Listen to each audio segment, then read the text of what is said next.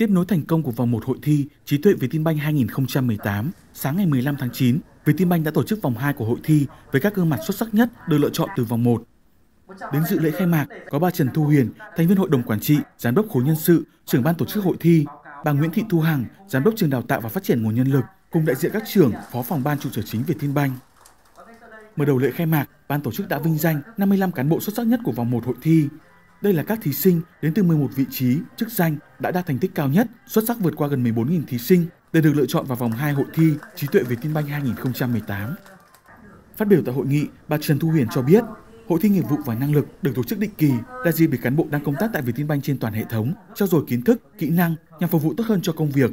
Đặc biệt hơn nữa, hội thi năm nay cũng nằm trong chuỗi sự kiện để kỷ niệm 30 năm ngày thành lập Vietinbank. Vòng 2 của hội thi được diễn ra với hai phần bao gồm thi trắc nghiệm và phỏng vấn. Tại phần thi trắc nghiệm, các thí sinh sẽ làm bài thi trắc nghiệm với 10 câu hỏi trong vòng 10 phút trên phần mềm Kahoot.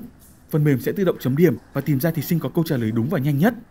Tại 11 vị trí khác nhau sẽ tìm ra hai người có điểm số cao nhất để bước vào phần thi thứ hai của hội thi, đó là phỏng vấn trực tiếp với hội đồng phỏng vấn là các trưởng phó phòng ban trong hệ thống. À, đôi, trước khi đến với cuộc thi rõ ràng mình thấy cái việc khung năng lực là một cái gì đó rất là trừu tượng, rất là mơ hồ, uh, chưa định hình được nhưng mà trải qua cuộc thi này thì đã giúp mình có một cái định hướng rất rõ ràng và thấy được lợi ích rất lớn của khung năng lực cũng như là việc trau dồi không ngừng uh, kiến thức nghiệp vụ của mình.